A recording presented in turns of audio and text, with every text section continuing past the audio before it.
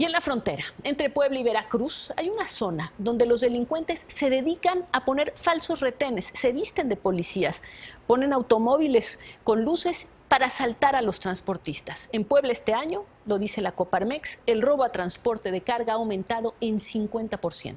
Este es un trabajo de Marco Antonio Coronel y de Marco Tinoco. Ahí está el retén falso en el 225, ¿eh? 225, ahí está el retén falso ya ya chingaron a dos camaradas, ahí los tenían, ¿eh? Los grupos criminales en Puebla están instalando retenes falsos en diversas carreteras. Yo, carnal. Maurillo. Vete, vete bien. Según la Coparmex, atracan de 1 a 10 camiones de carga al día. ¿Qué traes? Llevo cascarilla de arroz. ¿Seguro? Seguro, chécale, ábrele. El tramo San Martín Texmelucan Esperanza es uno de los recorridos más peligrosos. 180 kilómetros en la autopista donde los criminales detienen con violencia a los transportistas. Se emparejan contigo, te sacan un arma, es como quitarle el dulce a un niño. Se lo quitan, los han dejado crecer. Los delincuentes operan principalmente de noche. Instalan retenes en los kilómetros 223, 224 y 225, en los límites de Puebla con Veracruz. Se hacen pasar por policías. Utilizan vehículos con luces rojas, azules y estrobos. Lo tenemos a la vista kilómetro 223. Aquí se han establecido grupos de delincuentes y son los llamados falsos retenes. En respuesta, la Policía Federal instaló retenes en los puntos donde los colocaban los criminales. Hemos sido agredidos a nuestra llegada con disparos de armas de fuego, inclusive dentro de los aseguramientos que tenemos de armas largas y personas detenidas, hemos encontrado uniformes.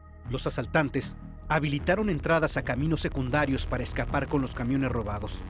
Las autoridades han deshabilitado los accesos irregulares y colocado cinco arcos antifuga. Aquí es donde nosotros establecemos el primer arco de restricción de vehículos de gran volumen. Pero las bandas criminales también han logrado retirar estos arcos. Aquí está. Después pusimos un segundo arco, que también fue cortado.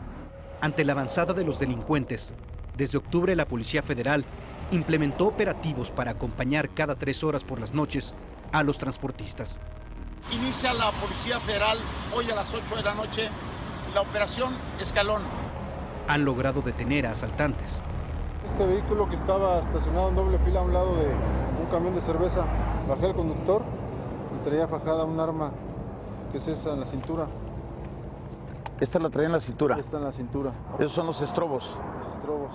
Y atrás, en el asiento, una escopeta.